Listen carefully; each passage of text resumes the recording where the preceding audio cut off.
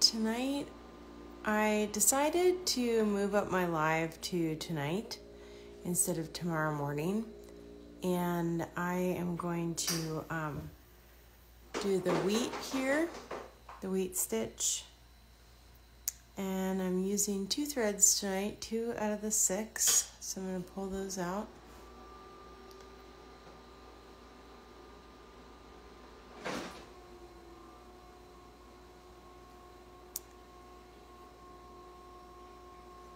And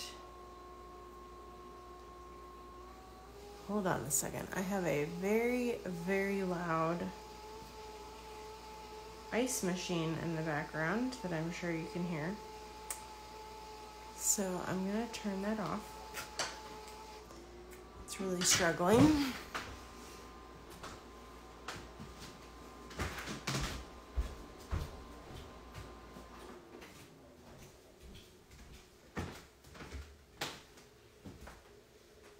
Right, so I'm doing my harvest stitch along, and normally I have been doing these during the day because I like, uh, I really like the natural daylight, and so um, it just worked out that I had some time to go live tonight, and I haven't gone live um, at nighttime for this yet, so I apologize if you were waiting for an alert on me scheduling this, but I'm going to go ahead and do it tonight and you can watch the replay later if you need to.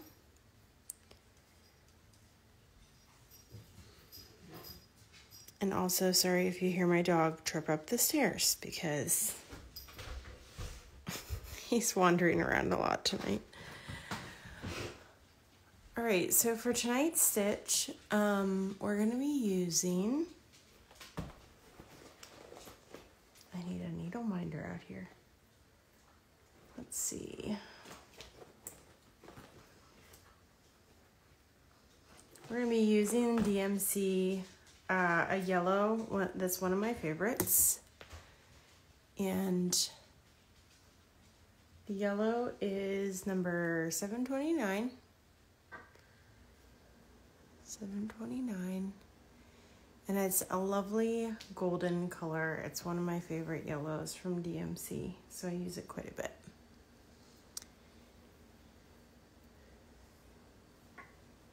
And this is my needle minder that's in my shop. It's just a place to rest your needle while you're stitching if you need that we're going to start here at the top. I'm using two threads and we're going to start here at the top of the wheat. And this is called the flyleaf stitch. We're going to go down to the bottom of this V and pull it through. And then we're going to go to the top of this little V here. And then insert our needle on the other point, the opposite point. And we're going to leave a little loop.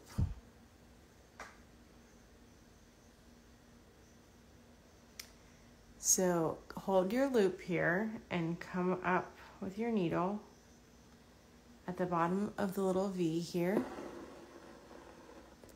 and pull it till that loop is tight and then insert your needle directly below where you came up and it secures that in place. I love the flyleaf stitch. It is definitely one of my favorites. So you can build as many as you want down here. You can make like ferns with this. You could do um, larger fronds as you go. Keep them tighter together whatever you want.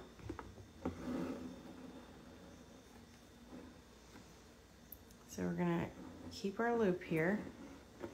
You don't want it all twisted. Come up at the bottom of a V shape. and I just realized I made a mistake here. okay, so normally you would insert your needle right below this But if you, for the V, but if you want it to continue on, you go down to the next V, like this. And it makes a Y instead. See that? I apologize if you were working right along with me. So, to fix this, because I'm not going to go back and cut it out, it's not really necessary right now. I'm just going to come up at the bottom of that and make a little stitch there. And no one will know the difference unless they watch this video. So come up at the top of this V shape again and the other top hold this down. Now we're only using two strands here because I wanted these to be very thin and kind of um, wispy, I guess. Then we're going down to the next V. There we go. Up at the top. And there. Come up at the bottom of that line. Pull it. And then insert it at the bottom of the next V.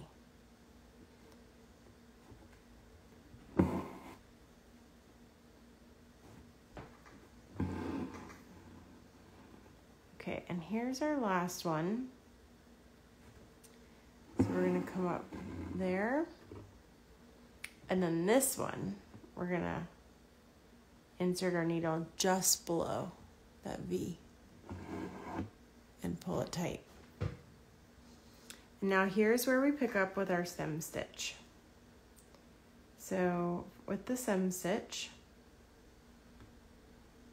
I'm gonna skip one stitch length because I can't come up in the same place. So I'm gonna insert this down in here, leaving a loop. So this is the stem stitch now, and I use this for most stems. We're gonna come up in the middle of that stitch. I'm coming up on the right side, and so every time now I'm gonna come up on the right side. It's important to keep it consistent. Go down a stitch length. Take your little loop. Come up in the middle. Pull it. Down. Come up to the right of our loop again. Pull. And as we go, it makes this mm-hmm. lovely, as long as you're coming up on the same side every time, it makes this lovely little twist. A lovely little twist to the stem. And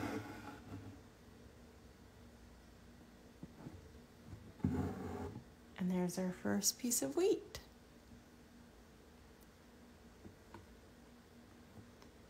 Now with this one, um, I'm gonna work up.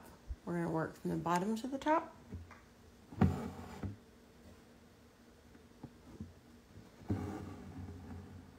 So leaving a loop, I'm gonna come up to the right side again. This time we're working our way up.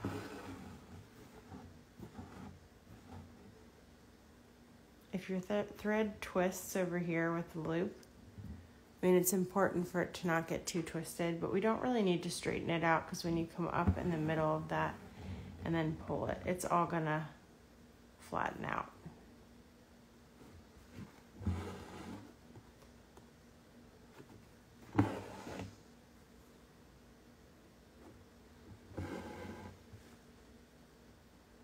This will be a pretty easy one for you to complete as you can see, I finally finished my pumpkins, and um, I was finishing this in my car pickup line the other day, waiting at my kid's school, and realized I didn't have the right colors with me. So that's why I haven't completed mine yet. I'm working on too many other projects. Coming up on the right side, and then inserting here at the bottom of this V. Now I'm going to skip up to the top now because the flyleaf, um, we can't really do that one backwards like we did the stem stitch going up this time. So I'm just going to, now it's going to give us like a line of thread here because we stretched it up to here, but that's fine. Okay, I'm going to come up at the top, insert my needle the bottom of the V. And this time I'll do it properly, unlike the last time. From one top to the other, untwist our loop here, and then insert it at the bottom of the next V.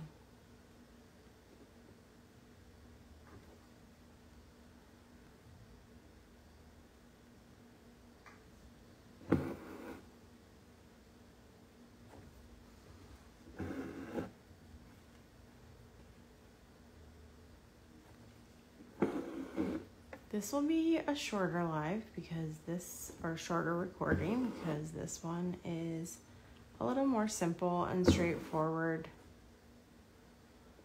And then I will try to schedule a time to go live again this week. So you don't have to wait a whole week for me. And we will work on this part over here, the beading next, which is a lot of fun to do, I think. Insert that down here. And we've got one more V to do here.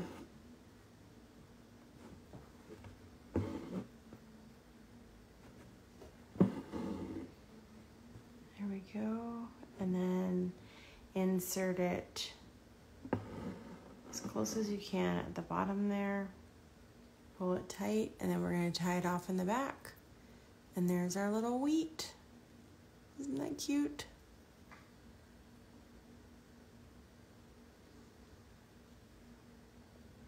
So I told you this one would be shorter, and I think that's all we're going to do for tonight. I will come live again later this week, and we'll do this side and you can check out um, the other parts on my Instagram under the Reels tab. There's a series tab, and then I also have these uploaded to YouTube as well, so you can find the pattern on my site, and um, you can also uh, follow along with us.